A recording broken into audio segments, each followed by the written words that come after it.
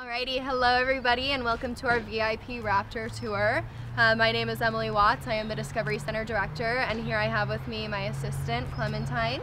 She is our lead intern for the Raptor Care Program and she's going to be learning how to handle the raptors as well.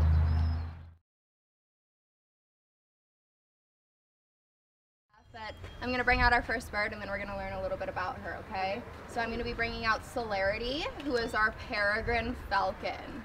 All What's right. Celerity. Celerity. And you want me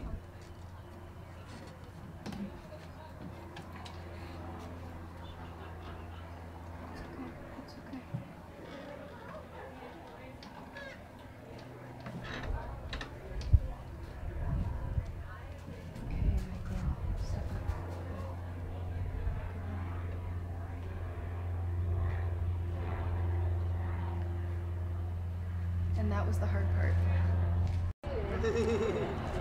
All right, here she is, our special guest star, Celerity. Okay, so she is our peregrine falcon, uh, which is a type of raptor.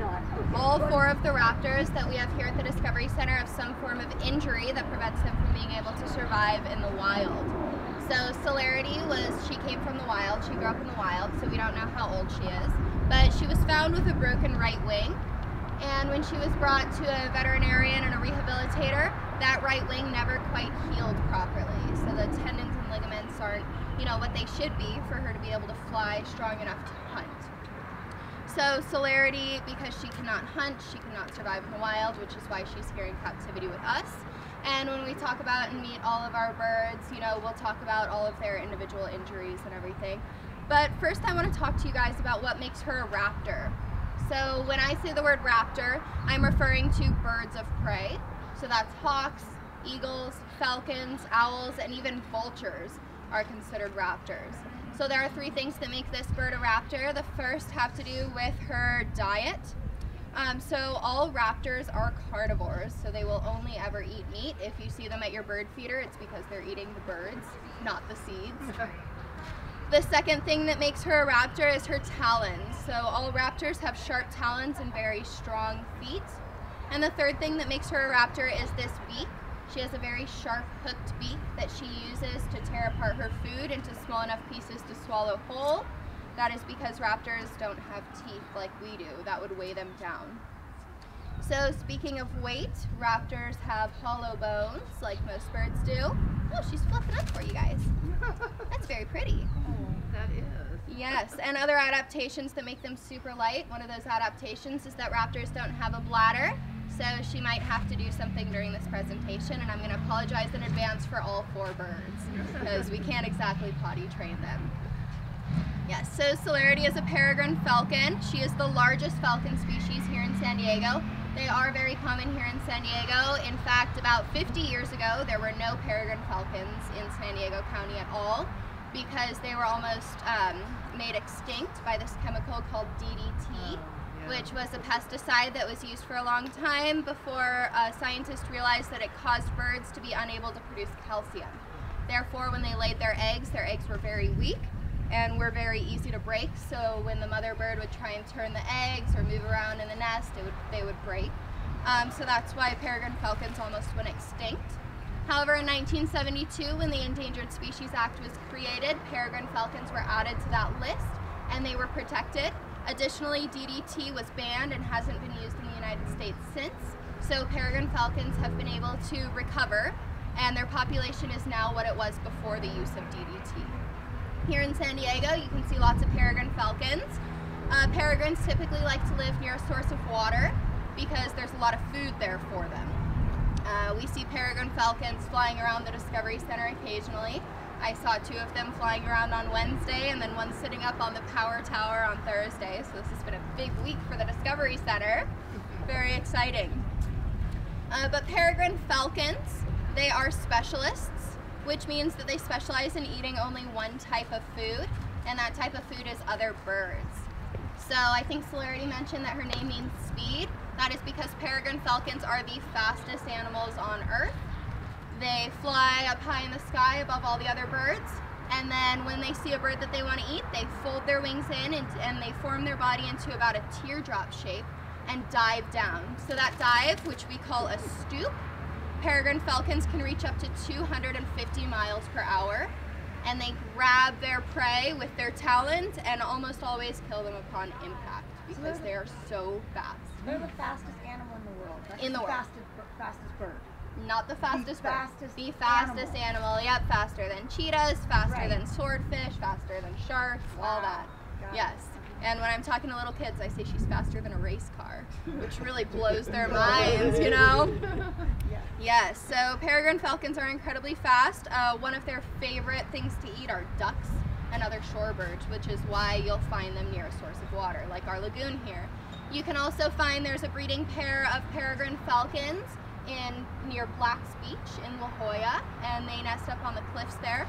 So falcons don't build their own nests. Some falcons will steal a nest from a hawk or another bird that will build a nest, uh, but peregrine falcons specifically like to nest on ledges. So if you're ever climbing a mountain and you see a little egg sitting on a ledge, you know it's not misplaced. It's probably a peregrine falcon nest. They just don't take much care to build it. Do they photograph the uh, falcons nesting? Yes. On- and Yeah. there's a site? Um, I'm not sure. You know, I've heard a lot of accounts of them being spotted in La Jolla, and a lot of local photographers, just people doing it on their own. But I don't know if there's a specific website dedicated to it. Re- I think the reason you asking, in some cases they have like the Eagle Cam up in Big Bear and stuff where they have Yeah. the, you can actually see the whole process. absolutely. So I don't know of anything like that here in San Diego, actually, but that would be super cool.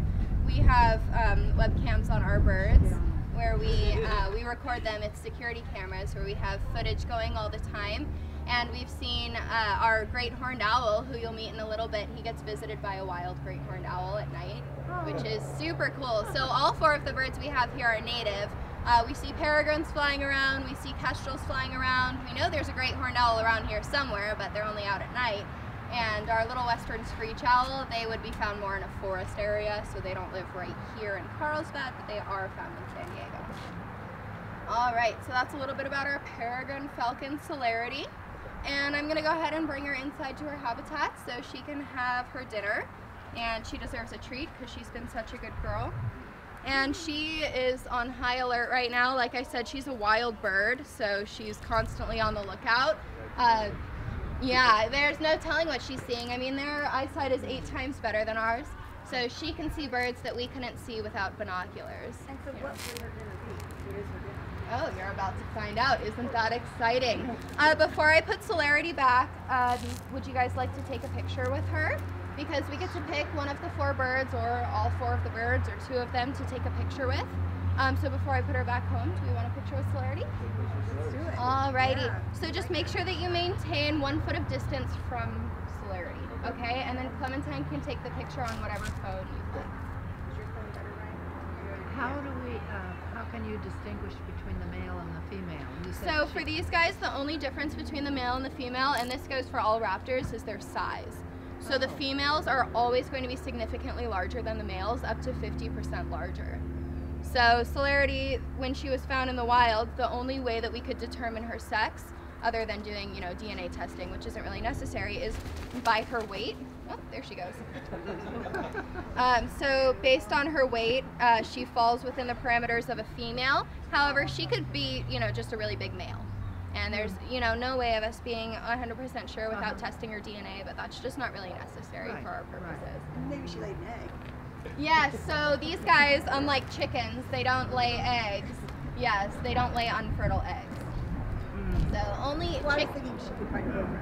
Oh yeah, I mean, there's lots of eligible bachelors flying around all the time. Sometimes I see her checking them out, but yeah. Alrighty, do we want to get a picture with her? Hey, let's do it. Yeah. Um, I can, I can come right over. You know, no, let's do this in the back. All the way over here. Alrighty, and Clementine, let's take a couple because she just pooped. So. all right. One, two, three, cheese. Cheese. All right, I took a few. Yeah, she wasn't really looking. I think she was looking in one. Okay. It's okay. She was Alrighty. It's like pelicans, you watch pelicans. It's like, how do they know when it's like So a I did a presentation a couple days ago. Oh my goodness. You work here as well? Um, Oh, cool. I did a presentation a couple days ago with our preschool class, and I told them that she's the fastest animal on earth, and they all said, "No, I'm faster." Okay. Move it. And then they were asking me, is she faster? Because I said she's faster than a race car. They said, is she faster than an airplane? I was like, well, no, but she's still really fast. These are one of the few um, raptor species where they've been able to get uh, data on their speed because you can tra- uh, put a GPS tracker on their body because they're so big. You can Yeah. strap it to them. Um, and what they did was actually somebody, oh, here she goes. A falconer went skydiving with one of his peregrine falcons next to him and they measured the speed that way. Yes, Falconer while went skydiving. Yes, with his peregrine falcon, and she was diving down to catch a bird, to catch prey in that stoop, that teardrop maneuver that I was talking about. Oh, almost done, baby. Almost done. Okay, here we go. There we go. Alrighty, so her food um, is chicken, but not like what we get at KFC. Mm-hmm. she has some little frozen day-old chicks in here that she'll come down and eat. And we have to feed them whole because that's the only way that they'll get all the nutrients that they need.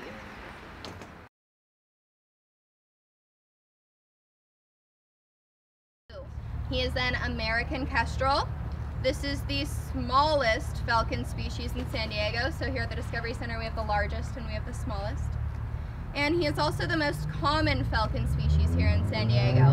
If you know what you're looking for, which now you do, uh, you'll be seeing these guys just about every day when you're out hiking, driving, walking around. Are they So- the ones that flap and like stay still? in the air? Yes, yes, hovering is definitely a um, distinctive trait of these guys that not many other birds of this size and shape will do. So if you see them hovering, then it's almost definitely an American kestrel. Another thing that they do is bob their tail. I don't know if that's the wind or him doing it, but they'll, when they land on a branch or on a fence, they'll bob their tail up and down a couple times. Um, and that's something that's also distinctive of the American kestrel. So he's wearing his hood right now because he was in his little box, but I'm gonna go ahead and take his hood off. Um, and let's see that cute face. There he is. Isn't he the cutest? So yes, this is our American kestrel. He is a male. And these are one of the only raptor species where you can tell the difference between a male and a female just by looking at them. So this little guy, his name is Blue. And his name is Blue because he has this nice bluish gray color on his wings and on his head. That is something that is distinctive of the male American kestrels. If he were a female, he would have this reddish brown color all over him. And he'd be a little bit larger. And you see he has this black stripe at the bottom of his tail. If he were a female, he would have black stripes all up and down his tail. So American kestrels like to eat things like other birds, small rodents, lizards, snakes, bugs, just about anything that moves. And our American kestrel here at the Discovery Center, he eats mice and chickens, just like the rest of the raptors, although he gets the small mice. Yes. So he has this black stripe under his eye that is something that is distinctive of falcons. It is called a malar stripe. All falcons have some sort of black stripe under their eye to prevent glare because they rely heavily on their vision. Um, Celerity's head is almost entirely black, but she does have some form of black marking underneath her eyes. So, yep, this is our daytime raptor. What's uh, his injury? Why he's here? So he doesn't have a physical injury. He's our only bird that doesn't have a physical injury. Uh, Blue kind of has an interesting story. It's kind of a good warning story for a lot of people also. So somebody found Blue when he was a little baby, just covered in fluff. And instead of taking him to a rehabilitator or leaving him alone, they decided to take him home as a pet. And that's obviously a terrible idea. It's like taking a coyote home as a pet. And he's super crazy. I wouldn't want him in my house. And this person quickly realized that, you know, this is not a good pet. This is a wild beast. so they brought him to a rehabilitator, but by that time it was too late. He had already imprinted on the person. So Blue basically has never left the nest. He's never been kicked out of the nest by his parents. He's always been fed and taken care of. So if he were released into the wild, uh, first thing he would starve. He wouldn't be able to find food, and when he got really hungry, he would find the nearest person and go up to them and start squawking, which obviously isn't ideal. You know, if this guy came up to you and started squawking, that's not a good situation. Additionally, he wouldn't ever be able to find a mate or get along with other wild American kestrels because he doesn't make the sounds that a grown up American kestrel should make. He makes the sounds that baby American kestrels make when they're asking their parents for food. And he also makes the alarm call, uh, which sometimes he'll be making his alarm call and I'll come outside and there's some American kestrels flying around and he just wants to go fight them. He doesn't understand what it means to be a bird, but he has a nice life here at the Discovery Center. You know, he um, he relies on us for his food. So Do all birds imprint? Yes. They do, right, because Yeah. I know before the, when we raise the condors, right, they Yeah. use their little condor yeah, the gloves. glove. yeah. Absolutely. Yep. And that's what happens in a rehabilitator uh, facility when they find an injured baby bird and it can't be released to the wild. They try and raise it as hands off as distantly as possible. Uh, but for this guy, it was just too late by that point that he was brought to the rehabilitator, so he never really stood a chance. Our owl, our uh, great horned owl, who was found as a baby and brought straight to a rehabilitator. I know. He was brought straight to a rehabilitator, um, and they just weren't doing the proper practices of trying to feed him. They were not, you know, do, taking a hands-off approach. So he's an imprint as well, but he also has a physical injury that we'll see. But Blue doesn't have any physical injuries. He is fit as a falcon, and you know, so we've just got to keep him here at the Discovery Center because that's what's best for him. So he gets to teach kids about American kestrels and other raptors here in San Diego. But now that you know what one looks like, you'll be seeing them all over the place, everywhere. You know, you probably see them and you're like, oh, that's just a dove or a songbird because he's so tiny. But they're everywhere. And when they're flying um, up above, you can see they have that pointy wing shape. They have very pointy, narrow wings. That's something that you can look for that's common among all falcons. And um, also, you can see the markings from under his tail. It's like a black and white rainbow almost. It's very beautiful. So let's let this little guy have some food. All right, it's dinner time. And between like two large mice, two large chicks on some days. She has three chicks today. Um, some days it's a little bit less. And then blue over here is usually one um, larger mouse or the two smaller mice. He has one chick right now. Um, and then the other owls will usually have a, a bit more.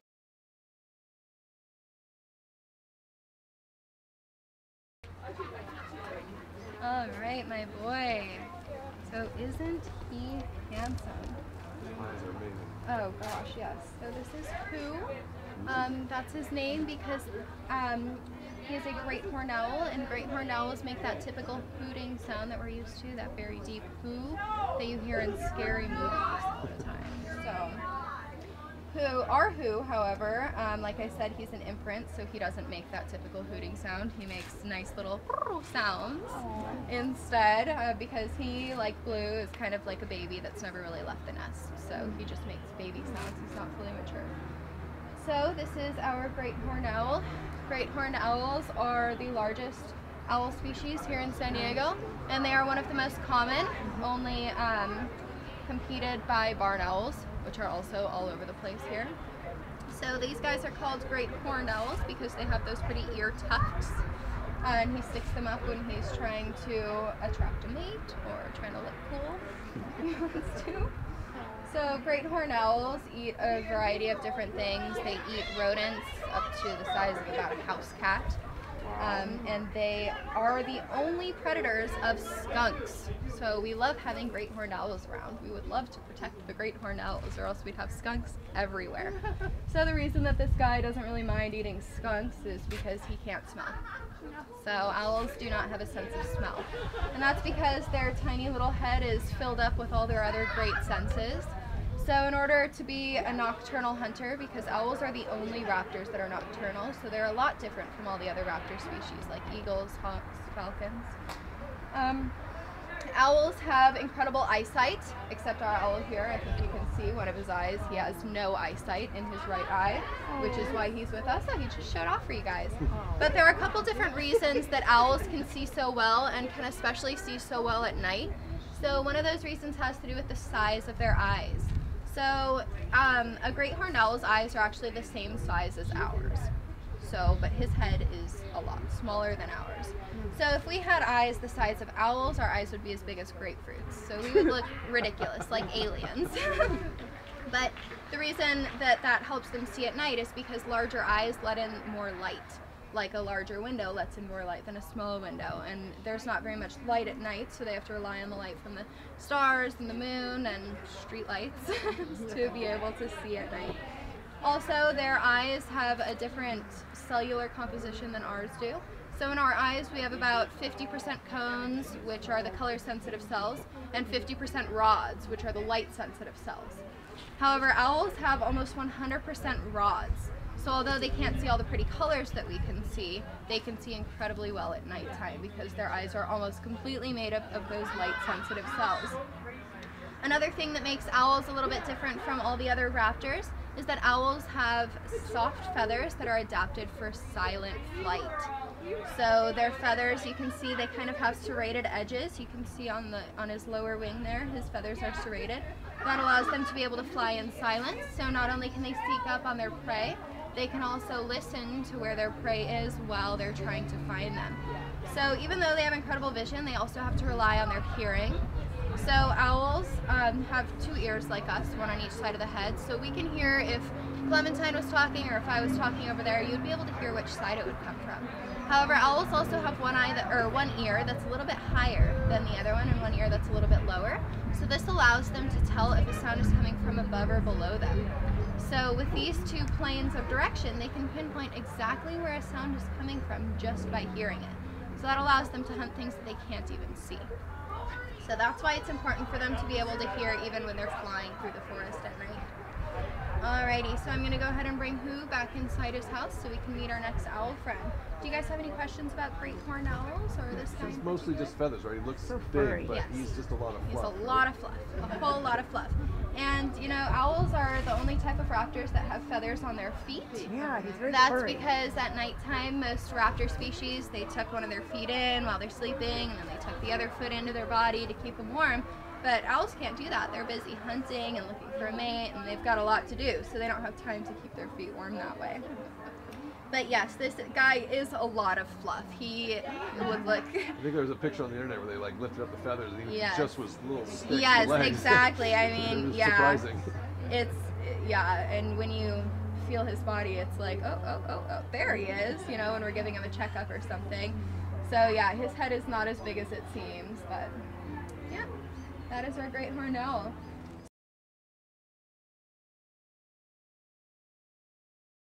screech owl which is the third smallest owl species here in san diego the reason we don't see these guys as often as we do the great horned owls around here is one because they like to live in a forest and two because they have to spend a lot of their time hiding from and being very aware of predators.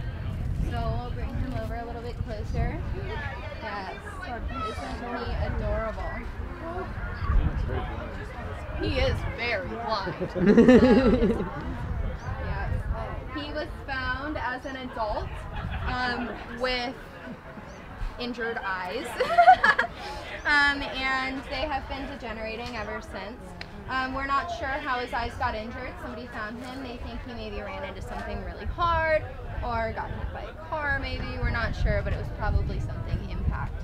And because he was found as an adult, we don't know how old this guy is. Uh, we'll never really know. And again, with him, we think that he's a boy because of his size, but he could be a tiny little girl. so this is Tecolote. His name means uh, screech owl in Spanish. So they all have educational names that relate to their species. Uh, but yeah, this is our little owl. His feathers, he is a master at camouflage. If you held him up to the bark of a tree, he would almost disappear. And when they're resting at night, or they don't sleep at night, they're nocturnal. when they're resting during the daytime, they will stand their body up tall and straight, stick up those ear tufts, and try and blend in to look like a tree branch. So, yep, you can't very well see them during the day or at night. looks just like the tree behind you. Yes, absolutely. Exactly. Yeah. Yeah. You gonna disappear, little guy? Yeah, absolutely. So this little guy likes to eat small things because he's so small. He likes to eat little rodents like mice, but he'll also eat lizards, and he likes earthworms, but one of their favorites are crickets because they can find them in the forest because they can hear them. They don't have to be able to see them because they're so tiny and camouflaged. But yes, this is our little western screech owl tecolote. Alrighty, so this is the last owl or the last raptor on our special raptor tour. Do you guys have any questions about any of the birds we've seen today? I have a question. Are those guys sometimes white? Uh, those are barn owls. That's a barn. Owl. The barn owls are white, um, very they're- light. And they're in San Diego as well. Yes, Yeah. and in fact, barn owls are the only owls that don't make a hooting sound. They, they don't go hoo hoo. They don't make. They screech. They scream. So if you're ever in the forest alone at night and you hear a scream, it's probably a barn owl. Someone getting murdered. Or you.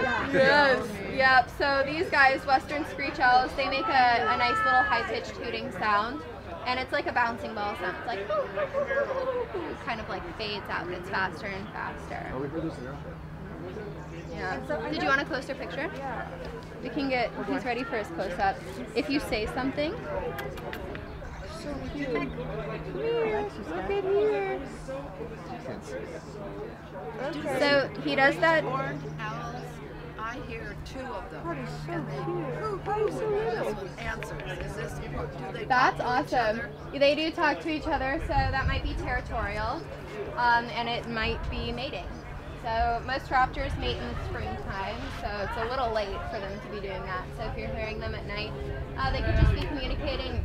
It could be territorial, like, "Hey, get out of this town. This is my, this is my town." And he's like, "No, I was in this neighborhood first. And you know, they're just going back and forth. I forth. like to think they're just friends. Yeah, yeah, they're just chatting. No, I don't. I don't think so. So raptors, they're not. They're not social. So they don't like to hang out with each other or us or anything like My that. story was very different. They were, it was mating, and she was talking to him, and he was talking to her. You know, I think I like that better. It's not scientifically accurate, but it's fun. And, and it's just such a soft woo woo. It was very sweet. Yeah, absolutely. He was wooing her. Yeah. So our little western screech owl. These guys can be found all over the which coast of the United States? West. The West. Yeah, it's very easy. It's right in the name. Yeah, So western screech owls can be found all the way up the west coast. Um, and on the western side of America. So before I put this little guy back, do we want a picture with this cutie? Did you get a picture? Does anybody want a selfie? Brian got a I picture. think we're good. Okay. Awesome. I'm good. On your I, shoulder. I. Put him on your shoulder like a parrot, right? I Yeah. want to know, So I know your program is very new. Yeah. Um, do you feel that they're, the birds are acclimating and doing really well? I knew you wouldn't have opened on time, otherwise, but are they ahead of schedule? How, how are things going? Um, they are actually doing as well as I had expected. You know, all, all four of the birds, they went a whole year without doing any sort of programming because of COVID. Um, so they're a little rusty, to say the least. But they're getting back into it. The falcons have totally adapted to the comings and goings of people. Little Blue goes up and says hi to everybody that walks by. Food, food, food, food, food. Yeah, they're like, oh, he likes me. I'm like, no, he thinks you have a mouse in your purse. But, you know, but yeah, the Falcons have definitely acclimated. Um, Celerity was a little bit freaked out in the beginning. Anytime somebody would walk past her habitat, she would kind of fly up to the corner. But now she'll she'll swing in front of them. She'll take a bath in front of anybody. She's just hanging out. And these guys, they just sleep all day anyway. So, you know, for presentations, Tecolote, he's great. He's tiny and easy. But who's having, you know, a bit of a hard time? But he's kind of always been a bit of a difficult bird. Can, do you know if he can see? Us? So he can see a tiny little bit at night, uh, but he can't see it all during the day because his pupils cannot dilate and constrict. Um, so he can't see anything right now. The only reason he knows where I am is because I am talking, and then if you talk, he'll probably look over in that direction.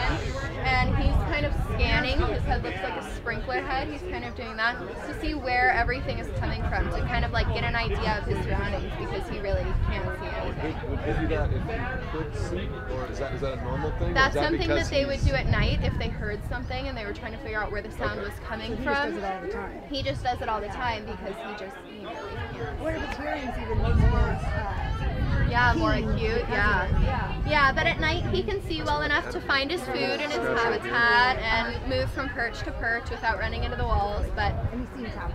Yes, he is. He's our sweet, happy little guy. Looks really happy. Yes, and just adorable.